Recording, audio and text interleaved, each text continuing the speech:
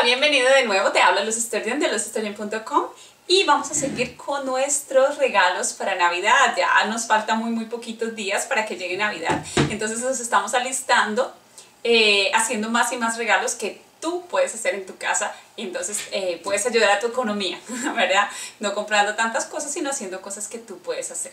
Vamos a hacer esto tan lindo, es un portarretratos, es muy bonito, es, es eh, un collage con tu fotografía y alguna serie de decoraciones. Es muy fácil de hacer porque los materiales son muy, muy, muy, muy asequibles. Tú los puedes tener, los tienes en tu casa.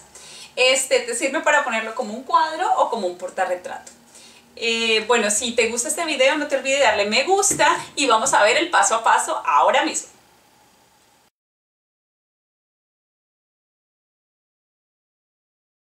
Hola, pues vamos a empezar con nuestro cuadro decorativo.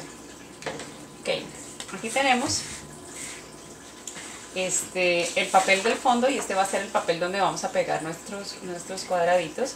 Aquí están nuestros cuadraditos que corté. Eh, son 16 cuadraditos. Son como de 4 por 4 más o menos. Ok, aquí está mi foto que corté. Tengo todo listo. Lo que primero que vamos a hacer es pegar, pegar este papel acá. Eh, me gusta pegarlo con esta cinta porque más fácil.